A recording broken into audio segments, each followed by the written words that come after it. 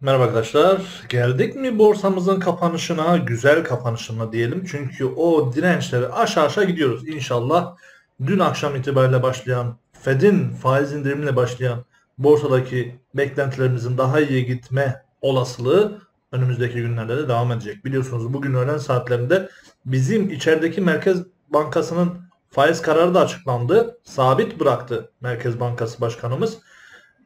Beklentileri karşıladı desek yeridir. Şu yükselen trend, bakın şuradaki BIST endeksimizdeki yükselen trend devam ediyor arkadaşlar.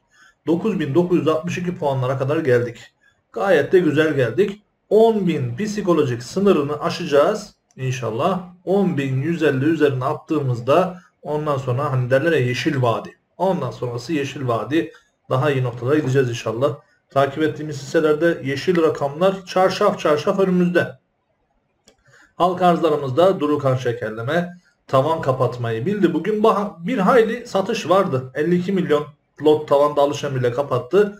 Bugün 6.70'e ulaştı. El değiştirme oranı sadece bugün bakın. Toplamda 8.69'a gelmiş el değiştirme oranı. 52 milyon not tavanda alışanı var. Güzel. Halen güçlü devam ediyor ama dediğimiz gibi bugün biraz fazla satıldı gibi ya. 2 milyon 848 bin not satıldı. Halen tutuyoruz ve bugün biliyorsunuz SPK'dan bülten günü. Bugün yeni bir halka arz onayı beklentimiz var. Hatta bir arkadaşımız sosyal medyada yazmış. Şu şirket gelecek diye. Ben de sordum nereden biliyorsun? E orası bende kalsın diyor. Yani herkes bir tahminde bulunuyor.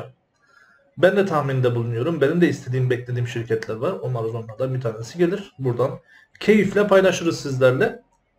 Bugün SPK bülten günü dediğimiz gibi şöyle tamamen eşit dağıtım. Şöyle ortak satışı olmayan, şöyle borcu harcı olmayan ya da az olan bir şirket gelir. Umarız arkadaşlar.